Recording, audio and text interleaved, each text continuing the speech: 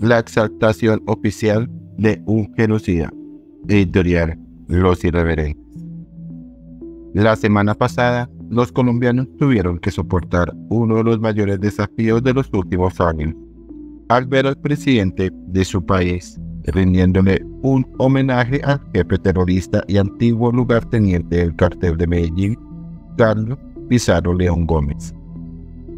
Con la bandera del M-19 en la mano, Petro hizo una remembranza del cabecilla de esa banda delincuencial con ocasión de los 34 años de que aquel fuera dado de baja, en el marco de un tradicional ajuste de cuentas entre delincuentes.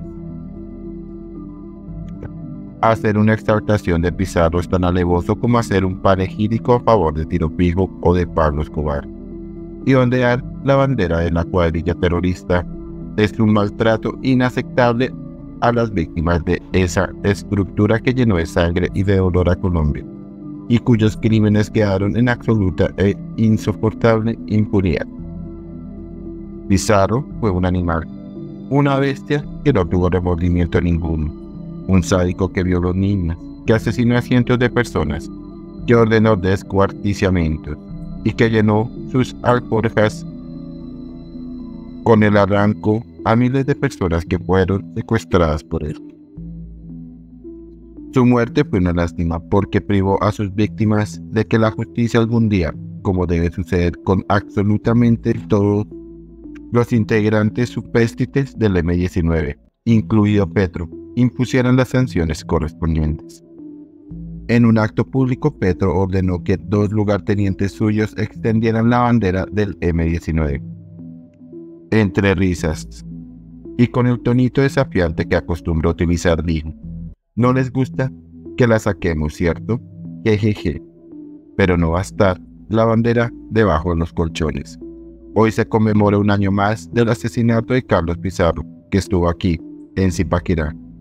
Y entonces es el jovencito que salió también a cambiar el mundo. Después Guerrero, andante conmigo. Después Paraín de la Paz, asesinado. Esa generación derogó la Constitución de 1886, proclamó la Constitución de 1991 y hoy es parte del gobierno de Colombia. Y como si aquello no fuera suficiente, la televisión pública, que es pagada con los impuestos de todos los ciudadanos, también hizo un vulgar homenaje de ese criminal de guerra, sin importar el dolor que dicha visión televisiva generó en tantos colombianos que hoy, pasadas más de tres décadas continúan sin olvidar la barbarie desatada por los antisociales que hicieron parte del M-19. Jamás habrá paz y reconciliación si desde las más altas esferas del poder político continúa esa campaña de burla hacia la sociedad, obligándola a oír catilinarias apologéticas a una organización ilegal que fue angular de la violencia y el terrorismo que aún padece Colombia.